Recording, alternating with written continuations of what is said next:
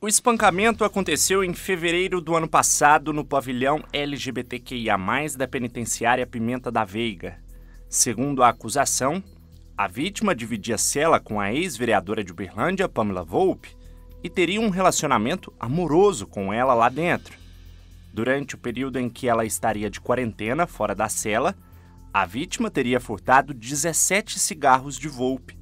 Cigarros que eram mantidos pela detenta junto com diversos outros objetos e que eram usados como moeda de troca dentro da cadeia. Segundo o Ministério Público, revoltada com o possível furto, Pamela teria mandado outros cinco detentos matar o parceiro. A vítima foi surpreendida enquanto dormia e foi brutalmente espancada. As investigações se desenrolaram e o juiz então decidiu que os seis envolvidos deveriam ir à júri popular, incluindo Volpe, que seria a mandante. Mas as defesas da ex-vereadora e de um dos réus recorreram. Os recursos estão sendo analisados pelo Tribunal de Justiça de Minas Gerais. Os outros quatro envolvidos começariam a ser julgados hoje. Mas o julgamento acabou não acontecendo. É que uma das testemunhas não compareceu e a Defensoria Pública, que representa três dos réus, alegou que a presença era fundamental. O juiz então decidiu pelo adiamento. A defesa de um dos envolvidos diz que discorda da acusação de tentativa de homicídio qualificado. Existe o fato, isso é inegável, a defesa é coerente, ela trabalha fielmente com os autos, né? É, houve o espancamento, isso está demonstrado exaustivamente nos autos. Só que a materialidade e a autoria se inclina para a lesão corporal e não para a tentativa de homicídio. Porque na tentativa de homicídio, a acusação ela tem que demonstrar que houve o ânimo necante, a vontade, a intenção de ceifar a vida do agente. E nesse caso aqui, os próprios acusados socorreram a vítima, né? então não existe possibilidade de ter uma tentativa de homicídio nessa forma. O meu cliente nunca agiu amando e nenhuma, ele descarta qualquer tipo de liderança por parte da Pamela Volpe. Nunca teve amando e nunca agiu sobre nenhuma ordem dela. Foi em 2016 que Pamela Volpe se tornou a primeira transexual eleita vereadora em Uberlândia. Em 2019, ela e outros 20 parlamentares foram presos na Operação Má Impressão, que apurou um esquema de desvio de verbas de gabinete por meio de gráficas. Eu quero agradecer a cada um de vocês se sinta abraçado por estar aqui hoje. Nós temos que nos unir. Eu quero agradecer de sim que os gays e os negros são minorias, mas nós somos as minorias, as maiorias e somos fortes. Em 2020, teve um mandato cassado.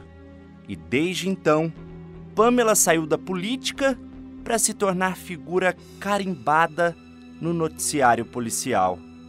Nesse contexto, as primeiras vítimas se encorajaram a denunciar o que seria um esquema de exploração sexual de travestis que estaria acontecendo há quase três décadas.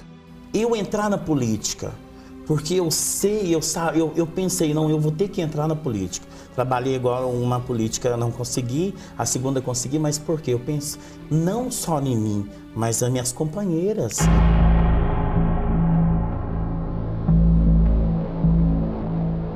As denúncias foram parar no Grupo Especializado em Combate ao Crime Organizado, o GAECO, do Ministério Público. As vítimas eram muito contundentes. E aí a gente foi buscando é, boletins de ocorrência que já existiam e que mencionavam a atuação dessa senhora aqui na cidade e nós fomos linkando, fazendo trabalho de campo, fazendo os levantamentos e aí foi quando foi decretada pela primeira vez a prisão temporária na Operação Libertas, que foi é, deflagrada em 8 de novembro de 2021. Buscas também começaram a ser realizadas nos endereços ligados a Pamela. Logo de início, os investigadores descobriram que Pamela seria a comandante dos pontos de prostituição da zona norte da cidade. Paula, fala pra c... me ligar que eu marquei um programa para ela de 150 reais 8 e meia aqui na porta de casa, 8 e meia em ponto, tá? Para trabalhar na região era preciso obrigatoriamente morar nos alojamentos mantidos por ela.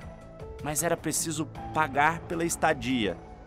Os espaços eram monitorados por câmeras 24 horas por dia e tinham regras rígidas. Tinha, tinha uma regra na casa também, que passasse às 6 horas da manhã, é uma multa que tinha que pagar 50 reais. Eu pagava quase uma vez essa multa, né, de 50 reais, que eu chegava antes, depois das 6. Quem descumpria as normas impostas por Pamela sofria punições, que quase sempre incluíam agressões físicas. Chegava, chegava lá, a Pamela vai estar sabendo, vai querer bater em nós, em nós, afogar nós na piscina, como ela já fez com outras pessoas. É que eu cheguei fora do horário.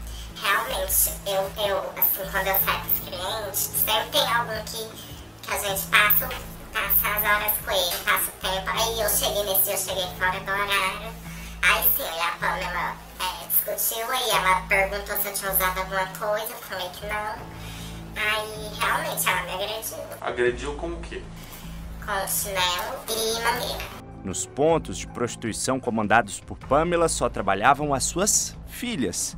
Como eram chamadas as travestis mantidas por ela, pessoas não autorizadas eram consideradas intrusas. Tudo que a Pamela vai fazer, ela para os carros que ela quer que para no, pé das bichas que moram na casa dela e todas são obrigadas a, a seguir com ela na agressão e até a pessoa para agredir a pessoa e colocar a pessoa para fora da rua, da cidade, do lugar. Inclusive comigo ela fez isso também.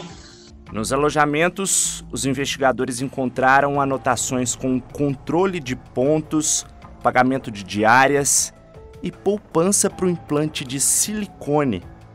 Quem desejava sair dos espaços mantidos por Pamela precisava deixar tudo quitado.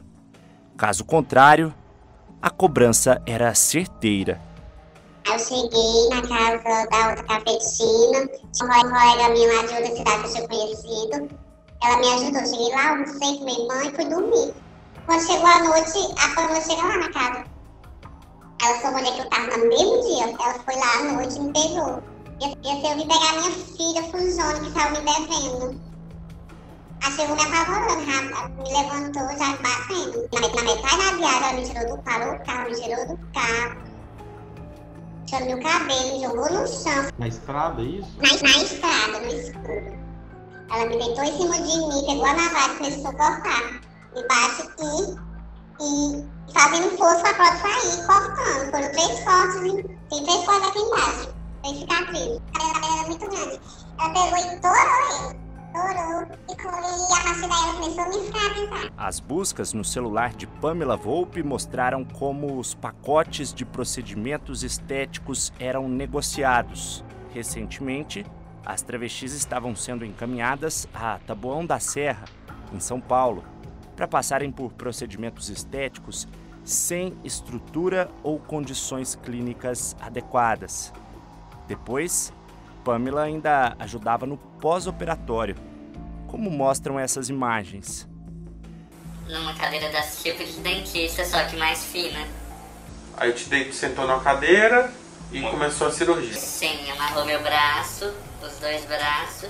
Tava e com tampou soro? meu rosto. Colocou o soro. Em um braço. E um E braço. o outro ele amarrou, Nos dois amarrou. pra você não mexer. Isso. E aí? Aí tampou meu rosto e já veio aplicando anestesia. Na, no peito. No peito, anestesia local. E você já tava acordada nessa hora? Tava. E aí? E aí que eu já comecei a gritar. Por causa da dor? Da dor da anestesia é muito furo, ele começa daqui e vem vindo rodando tudo. Até chegar no bico do peito. Mas aí você sentiu dor também na hora do corte? Senti Muita? muita. Gritou? Gritei. E o que, que ele falou quando você gritava? Não grita não, senão os vizinhos vão chamar a polícia. Você vai ficar sem seu peito.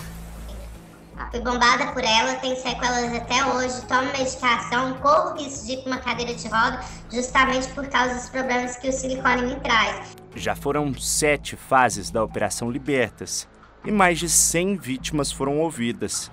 Pamela Volpe permanece presa e já responde por crimes como exploração sexual, extorsão, tentativa de homicídio, tortura, emprego de arma de fogo e lavagem de dinheiro. E mesmo na cadeia, Pamela teria buscado formas de permanecer no comando. Sobreveio informação da Polícia Penal de que algumas, alguns presos estavam reclamando de extorsões dentro do presídio. E aí nós fomos averiguar, alguns presos foram ouvidos, inclusive um daqueles que, que sofreu agressão, que pularam em cima do preso é, numa tentativa de homicídio. Esse caso foi vertido, inclusive, para a justiça.